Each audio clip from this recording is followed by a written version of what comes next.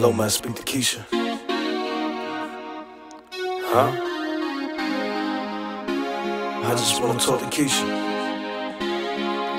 It all started, she was 11, she got raped by her brother. Got her pregnant because he didn't even wear rubber. Thought he could get away with what he was doing undercovers, but it came to light when Keisha started crying to her mother. Didn't believe her, so she kicked her out on the street. She found comfort in fucking every single nigga she meets, but now her pain burns slow.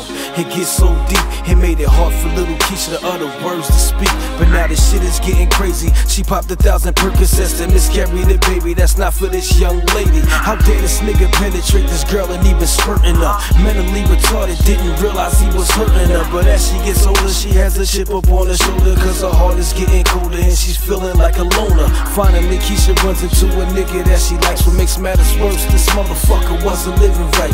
Fucking Keisha raw and fucking with these faggots in the closet. Keisha's the ATM wasn't prepared for his deposit.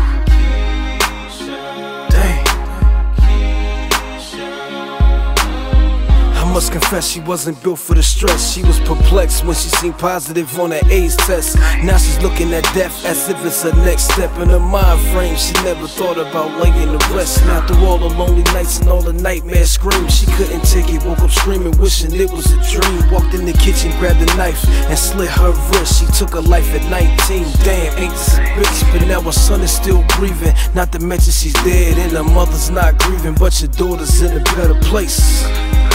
And grandson just turned eight. The info he just received fucked up his mind state. He found out that his uncle was his father. Nobody never told him, so now he's thinking, why bother?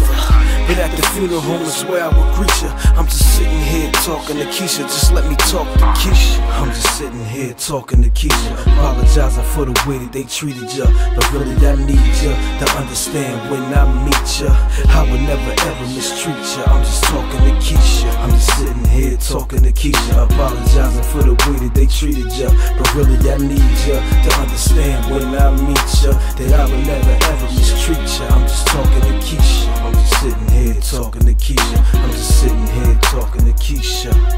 Uh, I'm just sitting here talking to Keisha. I'm just sitting here talking to Keisha. I'm just sitting here talking to Keisha, apologizing for the way that they treated you.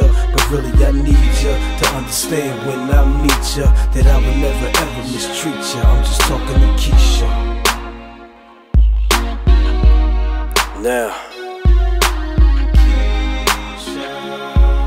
I'm not really talking about anybody in particular, but